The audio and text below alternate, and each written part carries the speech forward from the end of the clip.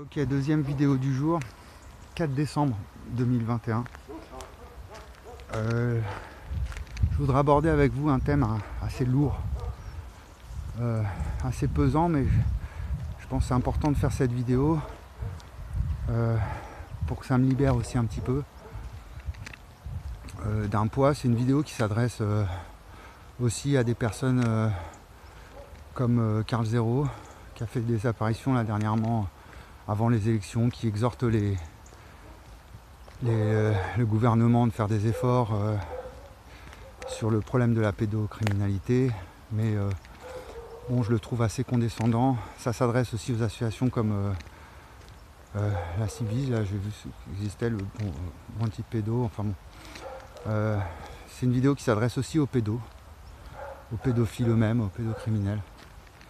puis bon à tout le monde. Hein. Euh, pour essayer de comprendre un petit peu la situation dans laquelle on est. Euh, euh, donc bien sûr c'est atroce hein.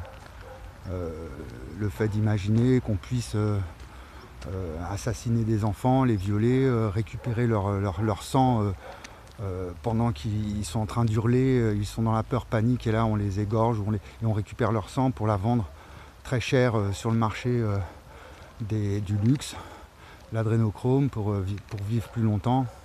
Enfin, c'est effroyable. Euh, mais euh, j'aimerais dire justement, parce que d'un point de vue vraiment, si, si, si, si, on part du principe que toute l'humanité est intriquée en elle-même, chacun de nos gestes, chacun de nos comportements a une répercussion sur l'ensemble de l'humain. on, peut, voir comme un système complet. L'humain, c'est un système complet, et, dans ce système, bah, il suffit qu'il y ait un acte de violence euh, ou l'inverse, un acte de paix, et, ça se répercute sur tout le système instantanément, peu importe la distance. Si vous voyez ce que je veux dire. Donc, euh, euh, ces derniers temps, je suis revenu parce que j'ai vu donc des, j'ai fait une comparaison en fait depuis le début de la, pandémie entre guillemets, mais pas trop de guillemets hein, parce qu'elle risque d'arriver, elle, peut arriver pour de vrai. C'était peut-être un entraînement hein, simplement. Donc ne plaisantons pas trop à ce sujet-là non plus, de dire oh, c'était pas une fausse pandémie. Oui, oui, restons prudents. Euh, il y, aurait eu 5 millions de morts.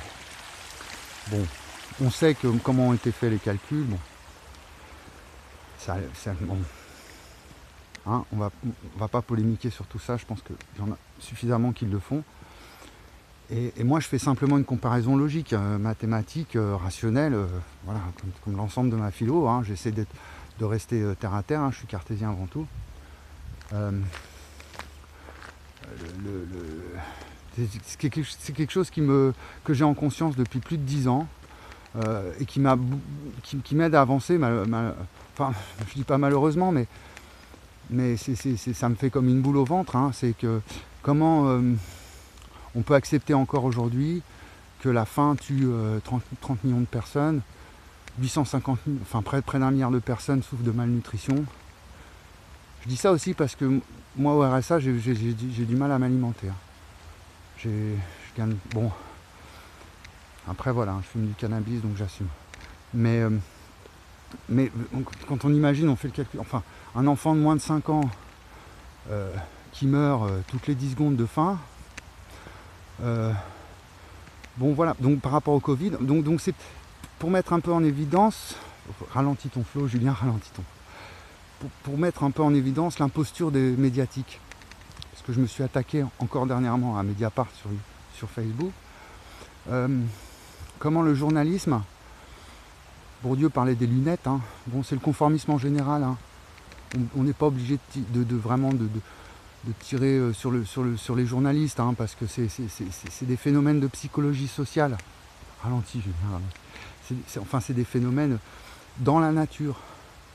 On a toujours tendance à se conformer au groupe, à notre identité d'appartenance. Euh, je parlais aussi de, notre grille de lecture. Euh, donc comme on n'a pas vraiment conscience de ça, on a tendance un peu à de, ces phénomènes comme ça d'influence du, groupe sur l'individu, euh, de cette, rétroaction qui est entre l'individuel et le collectif, et qu'on n'arrive pas à la formaliser, à la comprendre euh, pleinement. Euh, du coup, on, tombe dans les préjugés, dans, les, jugements de valeur. Weber, il appelait ça. Max Weber, un, sociologue très important, qu'il faut connaître. Et, donc, le principe de la philosophie, c'est de suspendre le jugement Bon, Weber appelait, le, appelait ça la neutralité axiologique. Bon, c'est, et, moi, en fait, ce que, ce que, ce que j'essaye d'apporter à, cette neutralité, à cette nécessité pour le, philosophe et le penseur en général, et le sage, en fait, de, suspendre son jugement, ne pas tomber dans les préjugés hâtifs comme ça, qui, qui, mènent à la démagogie, à la violence, du coup, à, l'erreur. On se trompe d'ennemi. Euh, ce que j'apporte, c'est c'est avec, avec l'espace-temps, euh, c'est un, rapport euh, vraiment strictement rationnel. La rationalité, c'est le ratio. et en fait, j'ai mis la rationalité au centre de la spatio-temporalité. C'est-à-dire que c'est le ratio. Euh, euh, j'ai même refondé la, logique du premier ordre. C'est-à-dire que pour tout temps, il existe au moins un espace. Euh, donc la cause du mouvement. Hein. le temps cause de l'espace en mouvement du fait du temps. donc donc simplement, euh, euh, un pédocriminel, quelque part, euh, bien sûr qu'il y, a un cynisme sans nom, il y a, une, méchanceté, parce que à partir du moment où on part du principe qu'il y a 30 millions de personnes qui, meurent de faim, bon, ben, un enfant sur cinq, on viole des enfants. C'est quelque part, c'est dérisoire du point de vue statistique. Enfin, c'est pas dérisoire, mais ça reste. Euh, et, du même coup, on peut, créer euh, des vagues comme ça de panique euh, collective avec le Covid, parce qu'on a occulté des problèmes bien plus graves encore que celui de, la de, virus et de la pandémie. Et du coup, on flatte, c'est ça la démagogie, on flatte l'ego on flatte les passions, c'est flatter les passions. Et donc euh, la mort, la mort, la mort, toujours recommencer. C'est la chanson de Brassens, hein, mourir pour des idées. Euh, on, utilise la mort, la peur de la mort, euh, et puis le côté dérisoire un petit peu de, de, notre existence par rapport au tout, au grand tout. Jigiba, je crois, ils disent en Burkina. et, euh, euh, donc, euh, un, le, problème de la faim dans le monde dans les années 80, il était permanent, il était là, à l'ONU, l'UNICEF.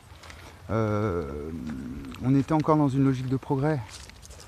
Donc, on disait bah, l'an 2000, l'an 2000, l'informatique, le, développement technologique, le, progrès technique, euh, on, va, sortir de tout ça, on va sortir de, ce, monde injuste.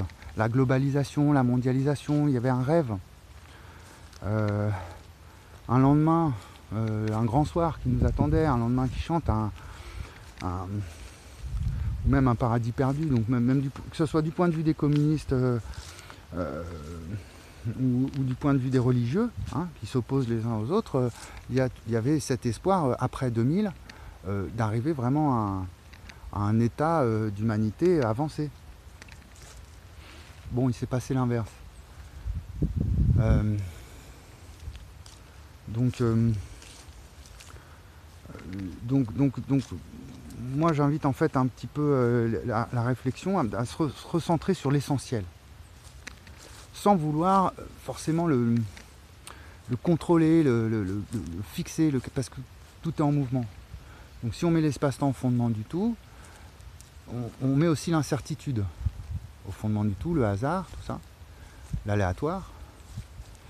Euh, mais, mais, mais, en faisant ça, ça ne veut pas dire occulter euh, le, concret, le réel.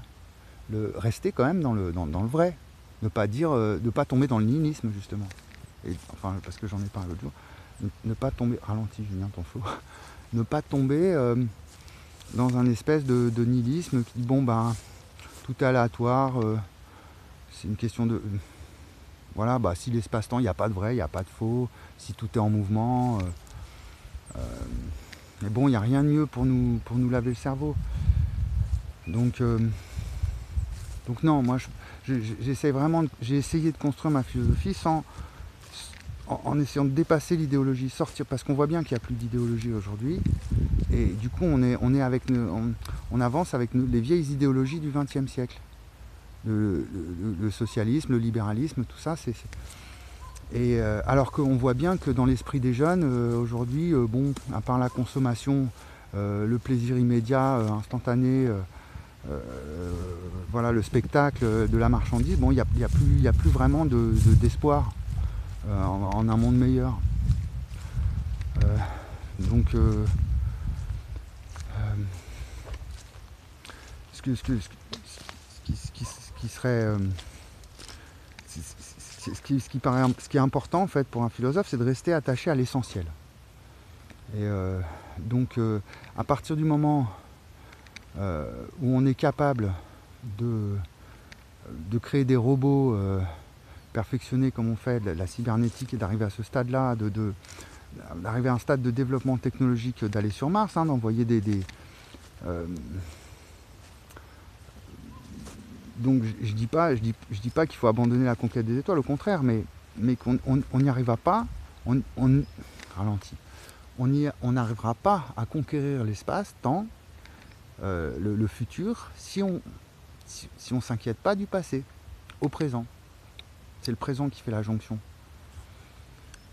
Donc euh, comme, euh, comme on oublie le passé et, et qu'on veut fuir vers l'avenir, comme ça, on veut s'échapper sur Mars, euh, et, qu'on n'arrive pas à trouver le lien entre le passé et l'avenir, c'est un problème métaphysique. Hein. Du coup, au présent, euh, c'est la panique. Euh, et, voilà, et on se met à vacciner des millions de personnes. Et, on rentre dans une ambiance de génocide mondial avec une, menace qui plane au-dessus de nos têtes, une menace de, guerre, hein, vraiment, véritablement, hein, je pense. Entre la Chine, la Russie, l'Inde, qui commence à se concentrer, créer un marché euh, en Asie, et puis on voit toute la décadence qui, en Europe, aux États-Unis, qui, prend de l'ampleur, euh, qui fuit vers la, vers, la consommation, et puis c'est le monde entier qui fuit vers la consommation, vers le. Bon, c'est l'effet pervers d'Internet, de, hein. c'est une dérive naturelle. Donc.